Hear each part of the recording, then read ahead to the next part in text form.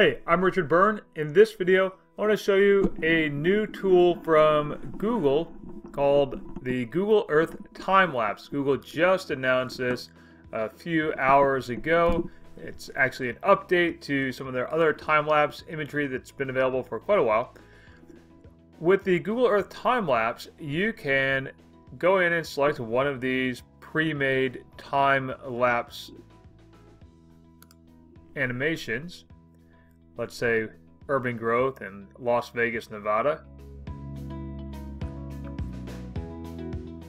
And you can watch that animation and of course you can pause it.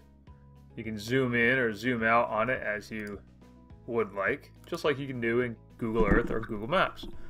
Let's take a look at another one here. We can scroll through and do a Columbia Glacier retreat. And the same thing happens again. We see that animation playback. But you can also go up here and search for other locations. Let's say I want to do Cape Cod, Massachusetts. You can just type that in. It's going to zoom over to Cape Cod and it'll give me an animation that I can play back, a time-lapse animation that I can play back. Now if I want to share that with my students, simply click on that icon up there. I can share that current view and of course I could post that link in my Google Classroom or what any other LMS that I want to use or I can embed that into my blog post if I'd like to or my web page.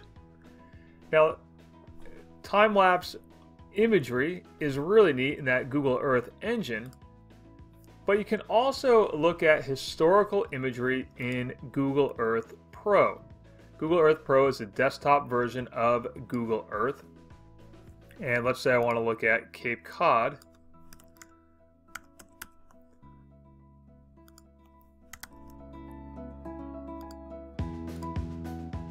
And we're located on it already.